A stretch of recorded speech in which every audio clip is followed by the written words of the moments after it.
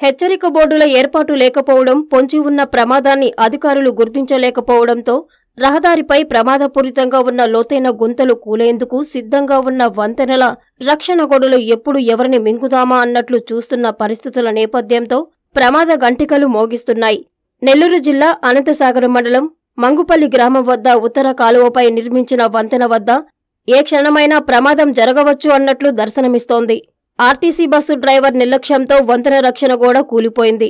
సంఘటన జరిగి సంవత్సరాలు గడుస్తున్నా స్థానిక పంచాయతీ కాని ఆర్ఎన్బి అధికారులు కాని ఆ దిశగా దృష్టి సారించుకోపోవడంతో వాహన చోదకులకు స్థానిక ప్రజలకు డెత్ స్పాట్గా మారింది. రాత్రి పగలు అని తేడా లేకుండా నిత్యం ఈ రహదారిపై పలు రకాల వాహనాలు జోరుగా రాకపోకలు సాగిస్తుంటాయి.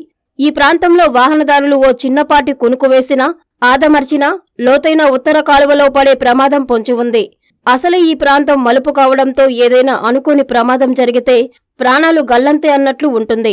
ఇప్పటికైనా వంతెన గోడలకు తప్పక మరమ్మతులు చేయాల్సిన అవసరాన్ని అధికారులు గుర్తిస్తే ఏ ప్రాణం పోకుండా ముందస్తు చర్యలు చేపట్టాల్సిన అవసరం ఎంతైనా లేకపోదు.